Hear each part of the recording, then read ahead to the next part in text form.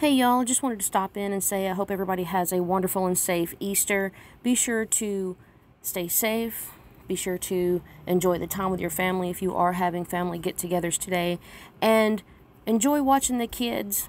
Even if they ask you to hide the eggs for the 30th time, be sure to do it because it's memories for them.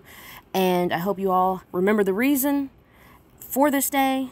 And I will see you guys soon. Take care and God bless.